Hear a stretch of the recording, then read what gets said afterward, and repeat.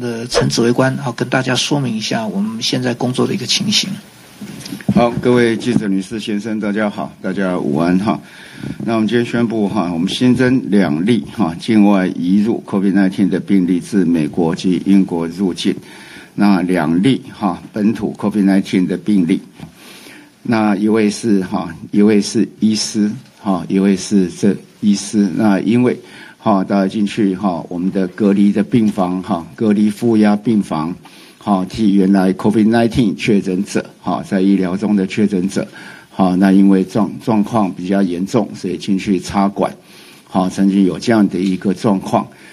那然后在一月八号，好从回顾起来，他觉得有一点点的症状。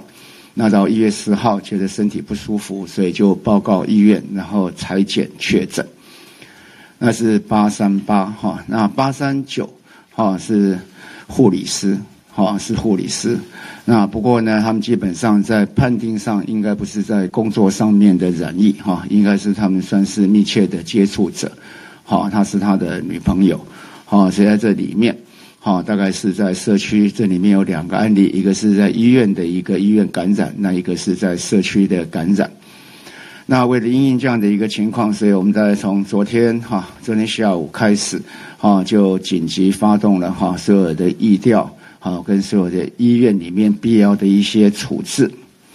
那医院里面的处置，大概最大家比较关心的哈，也是我们大家最关心的，就相关的接触者或是服务的病房，我们大概做了哪一些的事情哈？那我们先跟大家报告，就是在这里面哈，我们大概初步来看哈，这个。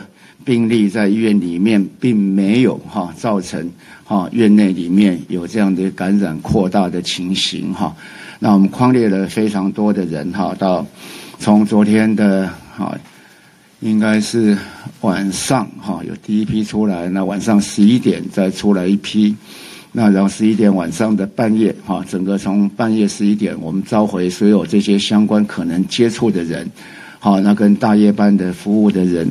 好，那整体的做了一些裁剪。好，那分批在今天早上七点半，好，那在早上大概十一呃十点多呃九点半，那另外一批是刚刚刚刚之所以拖了一点时间，是因为今天早上又框列了二十二个人。好，原来是框列四百，好四百四十二，好框列了四百四十二人。那今天早上又在框列了二十二人。那最后我们刚才是在等这样的一个结果出来。好，那也。算是不幸中的大幸哈！我们在里面裁剪了四百六十四人，哈，总共裁剪了四百六十四人，那全部都是阴性。